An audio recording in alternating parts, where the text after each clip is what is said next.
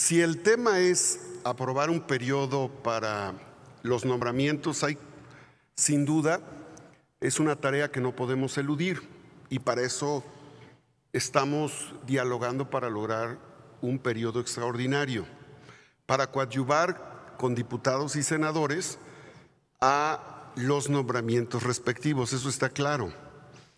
Hace un momento, cuando hice uso de la palabra, señalé que los senadores y senadoras del grupo parlamentario de Morena en el Senado estamos dispuestos a acompañar a los diputados, porque les corresponde a las y los diputados los temas de desafuero, acompañarlos en el tema para un extraordinario y se aplique el desafuero a eh, los legisladores en comento.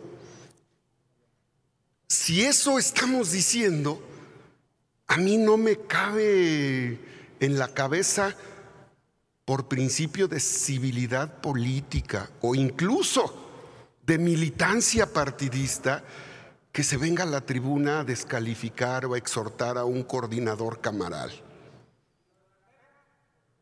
Por cierto, a eso, a eso que llamo es a la civilidad, a que se entienda, a que se tenga la madurez, ser legislador no significa venir a comportarse de manera sectaria. Esos temas hay que dejarlos en la vida de partido interna. Esas diferencias se procesan en otros espacios, no en este. Es legítimo, sin duda, pero no nos podemos quedar callados cuando se viene a una asamblea a exhortarnos y acusarnos de algo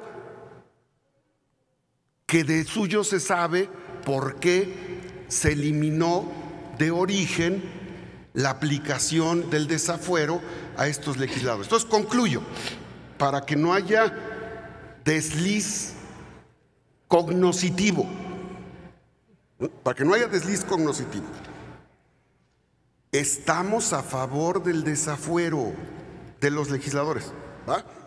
Estamos a favor y apoyamos a los promoventes.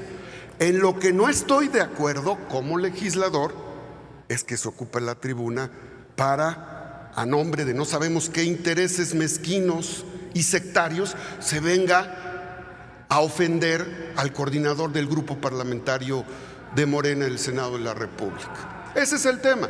Concluya, senador. El león cree que todos son de su condición. Muchas gracias.